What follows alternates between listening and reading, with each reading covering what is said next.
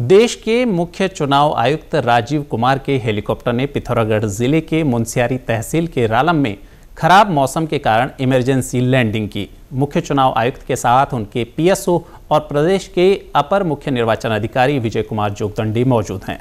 Helicopter के emergency landing की सूचना मिलने के बाद जिला मुख्यालय स्थित आपदा कंट्रोल रूम को एक्टिवेट कर दिया गया है। पिथौरागढ़ के जिलाधिकारी खुद पूरी व्यवस्थाओं का जायजा ले रहे हैं।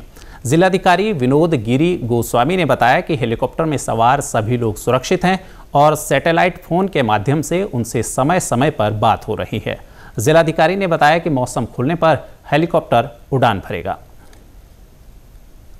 एक हेलीकॉप्टर की लैंडिंग रालम में हुई है। रालम हमारा एक रिमोटेस्ट विलेज है जो मुंशियारी से आगे पड़ता है। और, वहाँ पर, उस हेली में तीन लोग हैं जिसमें कि हमारे राज्य के अपर मुख्य चुनाव अधिकारी और जो सी सर हैं और उनके एक पीएसओ ये भी हैं, इसके अलावा टीम है। सभी लोग सेफ़ हैं और मेरी पर्सनली बात हुई है टीम से, तीन चार बार बात हो चुकी है। सेटेलाइट फ़ोन है, बाकी सारी फैसिलिटीज़ वगैरह हैं और मौसम खुलने का वेट कर रहे हैं। मौसम खुलेगा, उसके बाद फिर फ्लाई कर सकते हैं। वहीं कुमाऊं मंडल कमिश्नर दीपक रावत ने कहा कि मुख्य चुनाव आयुक्त और उनके साथ मौजूद लोगों के रेस्क्यू के लिए तीन टीमों को रालम के लिए रवाना कर दिया गया है।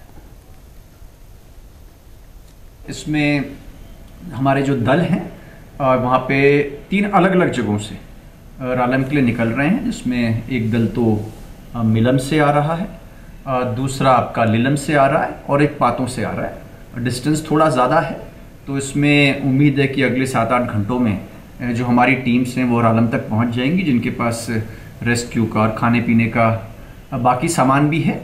और अगर मौसम खुलने की कोई भी गुंजाइश दिखती है, और फिर तो हेलीकॉप्टर के ऑपरेशन से ही मिलम में या वापस मुंशारी में आया जा सकता है तो कुल मिला के हमारे जो दल हैं ये ऑन द वे हैं। और इस खबर पर ताज़ा अपडेट के लिए चलते हैं अपने पिथौरागढ़ संवाददाता राकेश पंत के पास। राकेश, आपके पास क्या ताज़ा जानकारी है इस खबर पर? जी, बिल्कुल आपको बताऊँ कि जिस तरीके से आज मुख्य चुनाव आयुक्त राजीव कुमार के हेलीकॉप्टर ने रालम में इमरजेंसी लैंडिंग की है। उनके साथ प्रदेश के अपर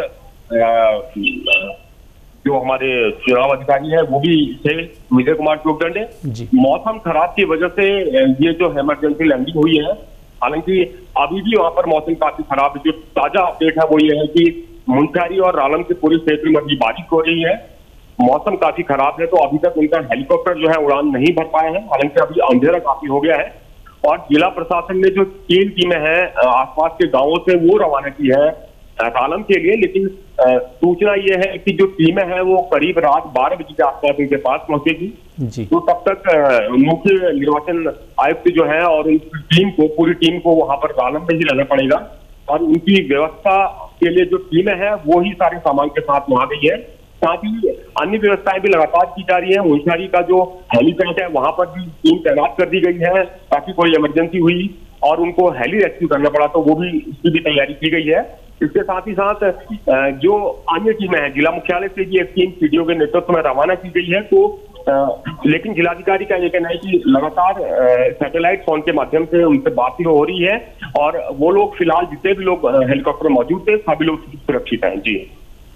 जी राकेश आबादी से ये जो क्षेत्र है जहाँ पर ये इमरजेंसी लैंडिंग हुई है कितनी दूर है? जी बिल्कुल आपको बताऊँ कि ये जो लैंडिंग हुई है रालम गाँव में हुई है।